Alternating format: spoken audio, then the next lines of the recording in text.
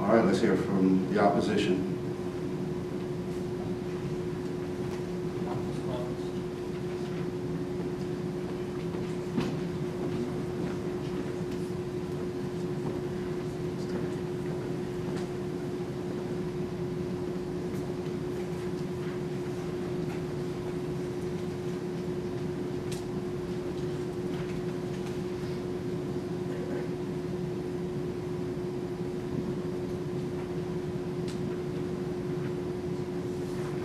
My name is Richard Marion, and I reside 2073 Castlewood Lane, uh, in the Amberwood subdivision. We're handing you a 20-page memorandum that further details the issues. We seek that this memorandum be part of the record. Several other citizens, including Katie Irwin, have submitted correspondence to you, which we want to be part of the record as well. I'm going to jump right to the last planning commission on November 6, 2014, when one of the planning commissioners asked, you get the zoning change to RNCD, will you continue to pursue this development under R100? The developer's legal counsel responded by saying no. Uh, When the developer's legal counsel withdrew the application for rezoning, a meeting on November 18th, he had made no indication to the board, to the community councils, and to anybody else that they would not pursue the R100 lot because it was not economically feasible.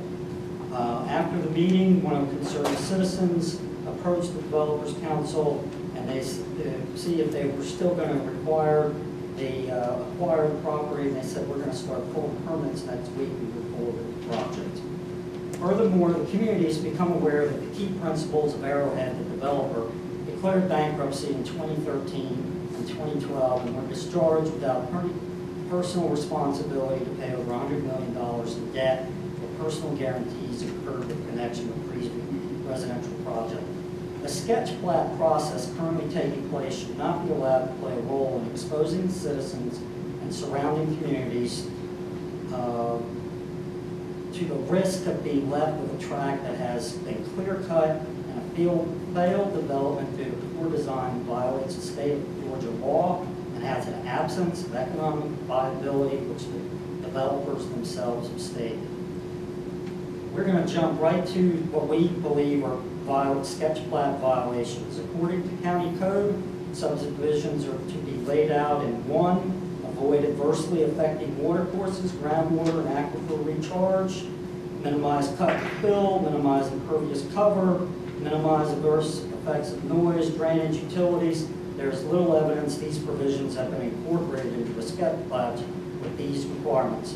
According to the proposed street layout and positioning lots, it's clear the requirements were sacrificed in order to maximize the number of lots that get squeezed onto the property. Two, open space. R100 developments are supposed to have 20% requirements of open space. This is documented in the memorandum. The statutes are listed in the memorandum, and I'm not going to go into them because I only have five minutes. Flood mitigation. Proposed plat is in violation of several state of Georgia laws concerning state waters and intermittent streams. There are several people that will have standing. Dr. Vincent Verhill, whose address is 2073, has an intermittent stream under his property on the west side of the property that has been developed by an intermittent stream on the property. I'm also going to talk about sketch plat violations, retention ponds. Planning Office of DeKalb County has indicated proposed plat and stormwater does not meet uh, development and regulatory code requirements. Traffic and safety concerns. The The sketch plat does not show the curb cuts for the uh, uh, 10 or so homes that are planned along our uh, Lake Road. The immediate area includes Lakeside High School, Twin Lakes Swimming Tennis Club, and Briarlake Elementary School to the south.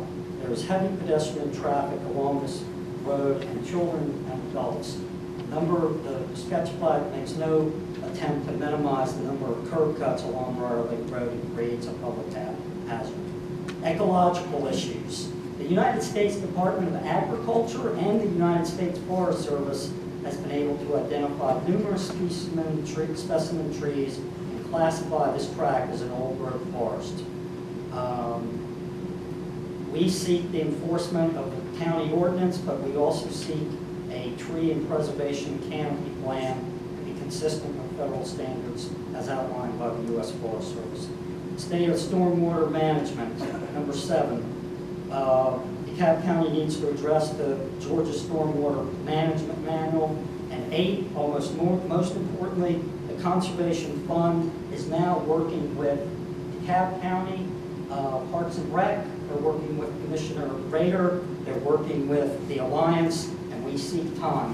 While we applaud the decision of the planning department to uh, seek a delay, we would like to uh, have uh, the planning commission uphold all federal, state, and local laws. Um, And we think this sketch plat is- violates numerous, numerous things as outlined in the.